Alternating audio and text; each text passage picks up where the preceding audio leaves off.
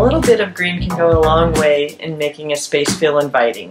At Chehalem Property Management, we believe that whether you live in an apartment, duplex, or house, it should feel like home. At many local stores, you may find house plants for under $20, but choosing the right one can be a guessing game. Today we are here visiting with our friend Ella at Uflora, a specialty botanical and floral design shop in Newberg, Oregon. She is going to give us a few things to think about when purchasing a houseplant.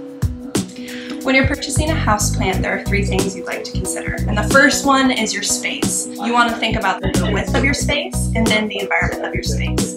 So if you're living in a really shady area or you have a window where you would like to put a plant, deciding where you would like to put your first house plant.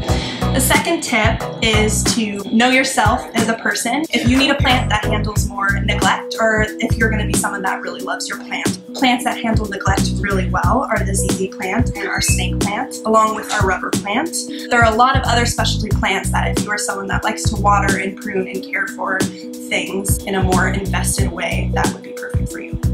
The third tip is knowing the positive properties of your houseplant. Almost every houseplant is good for your air, it improves attention and focus, and ultimately is a really good design aspect. So, for example, um, our snake plant, it is one of the top for purifying the air. It's also one of the easiest houseplants to take care of. Aloe has a lot of medicinal properties if you're aware of aloe vera and what it can do for you. Um, you can always break off pieces of this and use it medicinally or just have it as an ornamental aloe in your house. And then the ZZ plant is also really good at having low care. It's known as the indestructible house plant and it, like all other plants, is great at purifying your air.